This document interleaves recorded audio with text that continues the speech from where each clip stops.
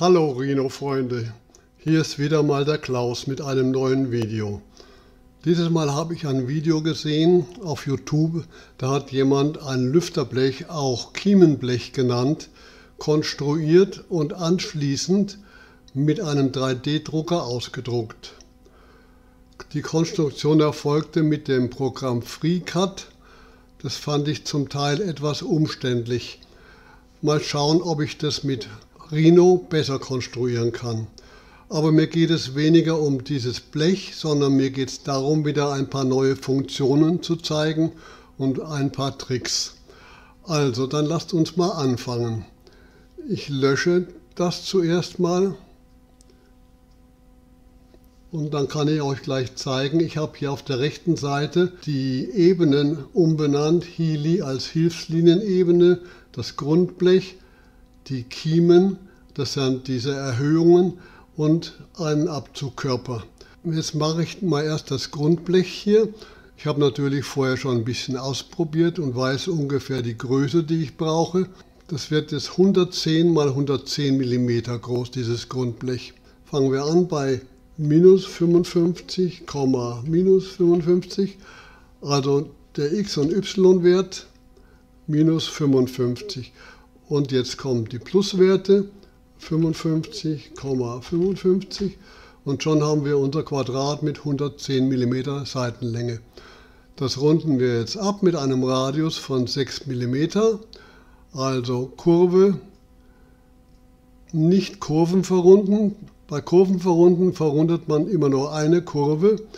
Wir nehmen Eckpunkte verrunden, da können wir das ganze Quadrat markieren und alle Eckpunkte auf einmal mit dem Radius 6 zum Beispiel verrunden so. Jetzt mache ich mir gleich hier die Kreise rein für diese Befestigungslöcher. Und da kommt schon der erste Trick, den ich zeigen will. Da gehe ich auf das Zentrum von diesem Radius. Also muss ich hier unten den Objektfang Zentrum anklicken. Das mache ich mit der rechten Maustaste weil dann ist nur Zentrum angeklickt und alle anderen werden gelöscht. Das, dieses Knoten zum Beispiel wird dann gelöscht. Schaut mal. So, wenn ich das mit der linken Maustaste mache, dann kann ich mehrere Objektfänge gleichzeitig anklicken. Mit der rechten Maustaste geht immer nur eins. Wunderbar. Man sieht auch schon, es wählt jetzt hier das Zentrum, wenn ich in die Nähe des Radius komme. Also Kreismitte und den Durchmesser habe ich schon voreingegeben, 3,4 mm. Jetzt kann ich das viermal machen, kann das aber auch transformieren. Kopieren, das Objekt auswählen, den Startpunkt, das ist das Zentrum des Radiuses. So, jetzt habe ich die Linien fertig und daraus mache ich jetzt meinen Volumenkörper, also dieses Blech indem ich das markiere und sage Volumenkörper, planare Kurve extrudieren, gerade und 2 mm. So, jetzt ist es 2 mm dick. Schauen wir mal hier. Die vorigen Kurven, die jetzt noch markiert sind, kann ich löschen. Dann bleibt mir nur das Blech über. Und das markiere ich jetzt und schiebe es in die Ebene Grundblech, indem ich hier unten auf Standard klicke und jetzt auf Grundblech und schon sehen wir, hat sich die Farbe geändert oder es ist in der Ebene Grundblech. Die kann ich jetzt ausblenden hier. Jetzt habe ich wieder alles frei. Jetzt mache ich die Kiemen, also jetzt konstruiere ich dann die Kiemen mit Linie, also Polylinie. Ich fange mal hier an bei minus 2 bis plus 2 und jetzt gehe ich auf den Modus M Return Bogen. Das sieht man hier oben. Modus Bogen. Da muss ich auf M gehen, Return machen, dann bin ich im Modus Bogen. So, ein 6 mm Bogen. Jetzt wieder auf M Return. Jetzt habe ich wieder den Modus Linie. Wieder M Return, Modus Bogen. M Return Modus Linie. So, jetzt ist die Linie fertig. Jetzt möchte ich in der Materialstärke von 2 mm eine zweite Linie innen anlegen. Das geht mit Kurve, Versatz, Parallelkurve.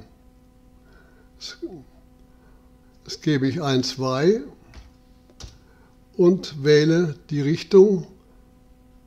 Jetzt habe ich die Parallelkurve in 2 mm Abstand.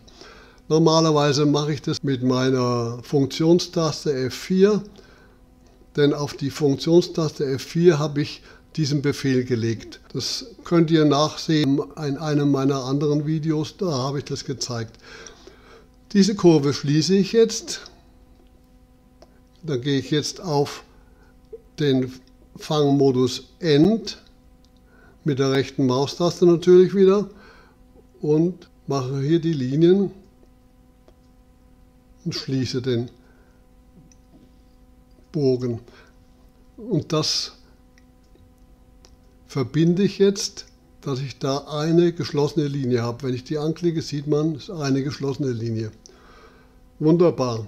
Und jetzt brauche ich noch eine Linie, nach der ich diesen Bogen hier extrudieren kann.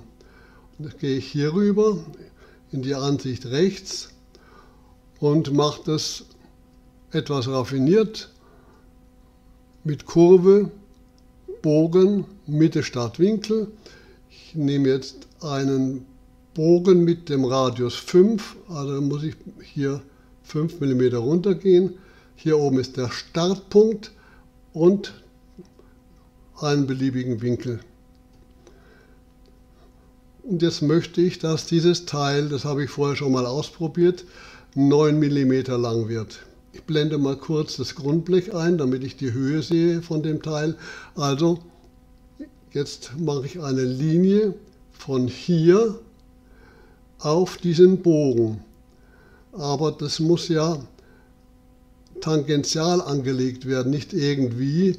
Also gehe ich hier auf Tangente, rechte Maustaste und hier ist die Tangente. Jetzt kann ich den Bogen und die Linie verbinden, indem ich auf Kurve gehe, Kurven verbinden. Diese Kurve mit dieser Kurve. Wunderbar.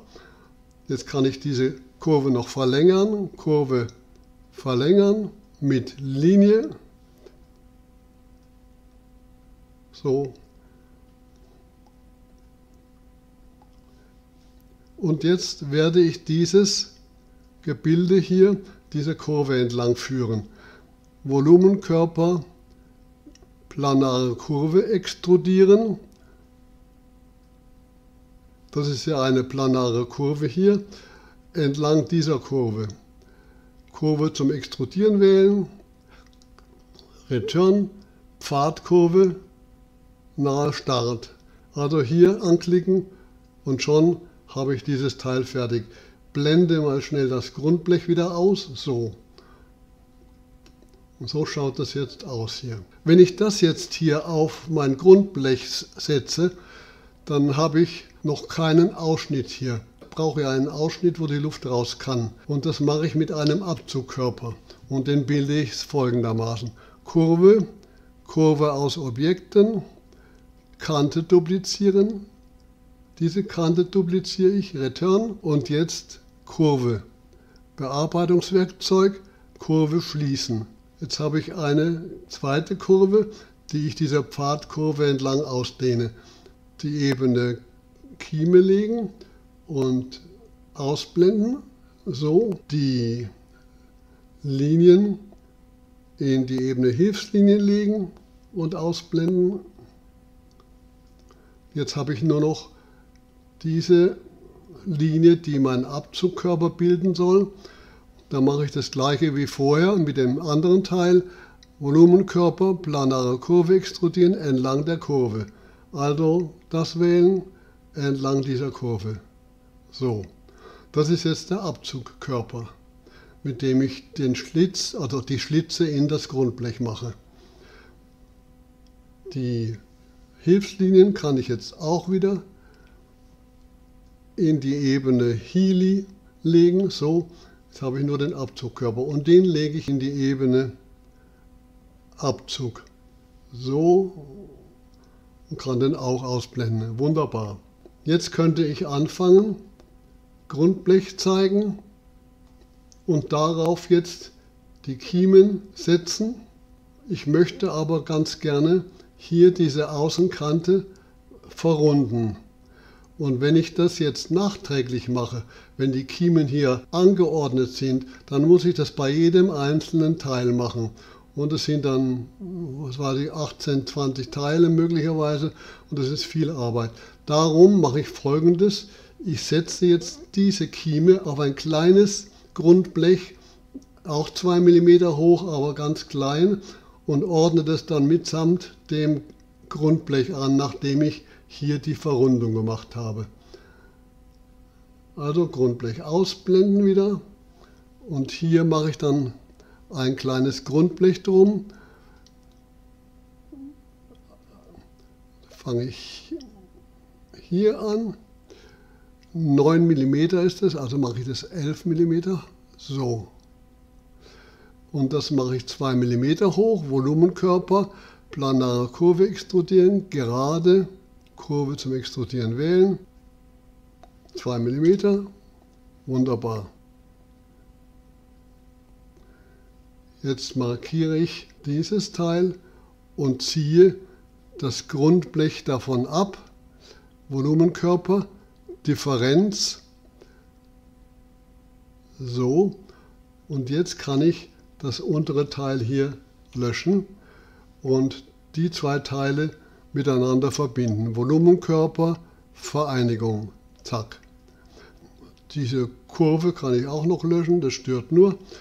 Und jetzt habe ich hier dieses Teil, wo ich jetzt hier die Rundung mache. Die mache ich auch deswegen, weil ich euch da was zeigen kann. Und zwar Volumen, Körper, verrunden, Kante verrunden. Die wähle ich jetzt. Wunderbar. Jetzt verrunde ich das. Toll. Aber ich sehe jetzt hier, hier ist die Rundung viel stärker ausgeprägt als hier in dieser Neige. Das mache ich jetzt folgendermaßen. Ich lösche das wieder mit Steuerung Z und sage Volumenkörper verrunden. Ich hätte auch einfach nur Return machen können, dann kommt der alte Befehl ja wieder. Gehe hier hin, so und jetzt sehe ich hier oben einige Möglichkeiten. Griff hinzufügen, das wähle ich jetzt hier. Und hier unten wähle ich den Objektfang Knoten mit der rechten Maustaste. Und jetzt werde ich einmal, zweimal und vielleicht noch hier, jeweils wo die Radien aufhören, einen Knoten setzen. So, und jetzt kann ich diese Knoten wählen hier und vergrößern oder verkleinern, also verändern. Zwei und die hm, mache ich mal mit 1,2. Also ein klein wenig größer noch als 1 mm, 1,2. Und jetzt Return und schauen wir uns das mal an, wie das jetzt ausschaut. Na, jetzt schaut es einigermaßen schön aus. Und so lassen wir das jetzt auch. Und jetzt sehen wir natürlich, dass hier vorne noch ein, eine kleine Fläche fehlt. Hier auch. Und das machen wir folgendermaßen. Markieren wir das Ganze und sagen Volumenkörper, Deckfläche auf planare Öffnung setzen und jetzt haben wir hier eine Deckfläche drauf. Und das mache ich noch vorsichtshalber mal verbinden. Naja, ist schon verbunden. Analysieren, Diagnose überprüfen. Das Objekt Flächenverband ist gültig. Okay. Jetzt können wir diese Teile anordnen. Jetzt müssen wir allerdings, bevor wir das verschieben und anordnen, äh, unser Abzugteil aktivieren. So, und das zusammen verbinden. Sonst wird ja nur diese Kieme hier verschoben. Also gehe ich auf Bearbeiten, Gruppen, Gruppieren. Jetzt ist es zusammen. Kann man das zusammen verschieben. So. Und jetzt gehe ich hierher, blende mein Grundblech ein und verschiebe das, wohin ich das haben will. Also mal minus 25 auf die linke Seite und nach oben. Naja, lassen wir es mal so. Das kann man immer noch anschließend verschieben. Jetzt ordne ich das mal an mit dem Befehl transformieren, anordnen, rechtwinklig. Die Anzahl in der x-Richtung ist 2, weil ich das hier auch nochmal haben will auf der rechten Seite. Also 2. Anzahl in y-Richtung habe ich ausgerechnet. Das sind 8. Ich nehme nämlich diese Höhe von 9 mm und nehme 3 mm Zwischenraum bis zum nächsten Teil. Das sind dann 12 mm. 12 mal 8 sind 96 dann bleiben bis 110 2 mal 7 mm. Also oben und unten jeweils 7 mm. Nicht ganz, weil ja einmal der Zwischenraum wegfällt. Also 8,5 mm. Gut. Aber Anzahl in y-Richtung 8 und übereinander brauchen wir es gar nicht, also nur einmal. Jetzt die, den x-Abstand, der ist 50 mm und der y-Abstand, wie gesagt, ist 12 mm. Minus 12, weil wir ja nach unten versetzen, also minus 12. Und Return. Wunderbar. Ich glaube, das können wir so lassen. Genau, es ist noch etwas zu weit oben. Wir schieben es noch einen Millimeter nach unten. Und da kann ich gleich noch einen weiteren Effekt zeigen. Diese Verschiebung mit diesen Pfeiltasten. Und da gehen wir mal auf Ansicht, Anzeigeoptionen. Dann hier unten Modellierhilfen in Intervallen verschieben. Verschiebungstasten ist die Alt-Taste plus die jeweilige Pfeiltaste.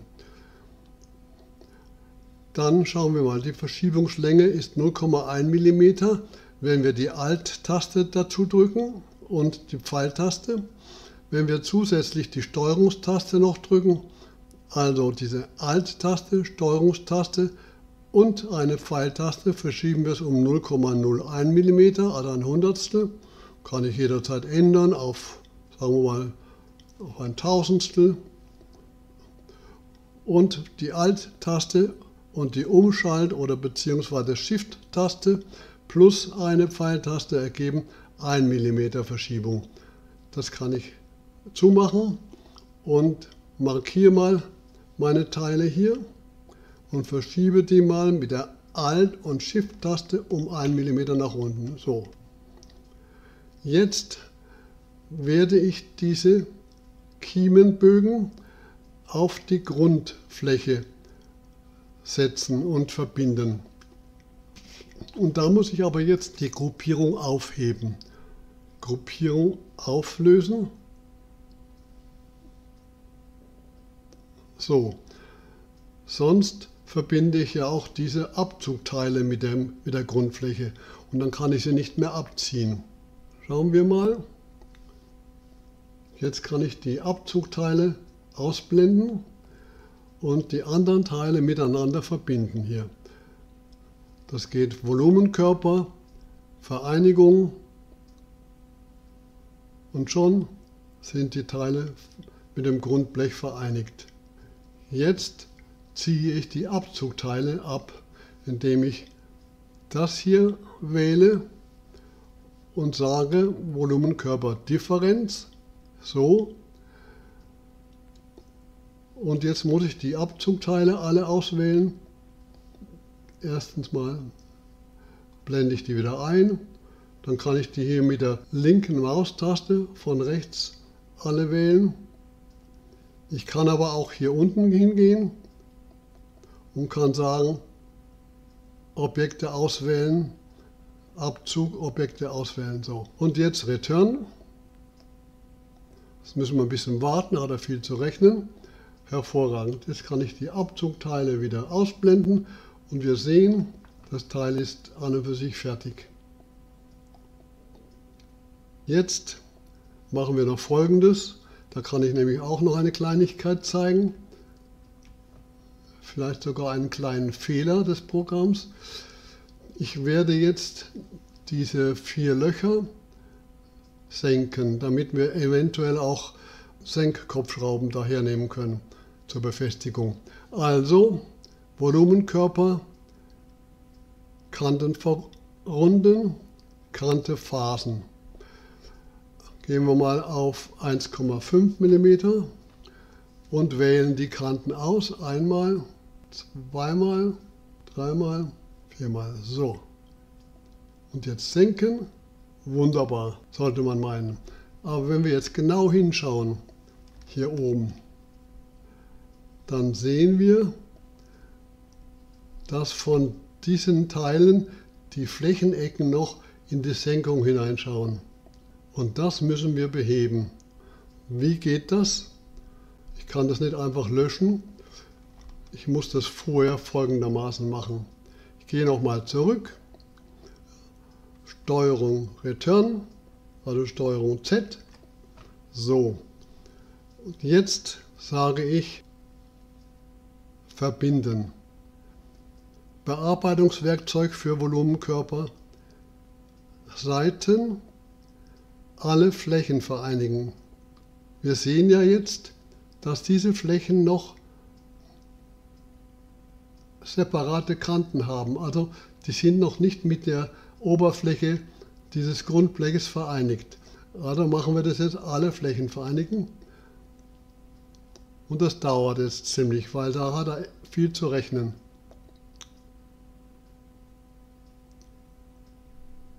So, jetzt dürft ihr es aber gleich haben. So, und jetzt sehen wir hier, dass das eine Fläche ist, dass das keine separaten Flächen mehr sind. Und jetzt kann ich Volumenkörper, Kanten verrunden, Phasen, ich habe noch die 1,5 mm hier stehen, ich gehe mal wieder auf Perspektive hier, wähle ich die Kanten wieder, einmal, zweimal, dreimal, viermal, Return. Und jetzt sehen wir, jetzt stimmt das. Ja, wunderbar. So sieht das Teil jetzt aus. Ich kann dem Teil natürlich jetzt noch eine Farbe geben, indem ich das Teil wähle und hier oben auf Eigenschaften klicke rechts auf diese Farbtube Objekt auswählen, habe ich ja gewählt, und jetzt gehe ich auf Farbe und wähle irgendeine Farbe, hier zum Beispiel. Und dann kann ich da noch einen Glanz einstellen. Es ist noch etwas zu hell, machen wir es etwas dunkler. So. So schaut es jetzt aus. Wenn ihr das Teil jetzt ausdrucken wollt in einem 3D-Drucker, müsst ihr das in einem entsprechenden Format abspeichern. Das heißt, ihr müsst es exportieren, also erstmal wählen, dann exportieren und dann, dann sagen wir einfach nur einfach mal, um dem einen Namen zu geben, Teil. Und dann suchen wir hier das Exportformat. Da ist STL. So. Und jetzt kann ich das abspeichern und kann das ausdrucken. Ich hoffe, mein Video hat euch gefallen und vielleicht sehen wir uns bald wieder. Vielen Dank fürs Zuschauen, euer Klaus.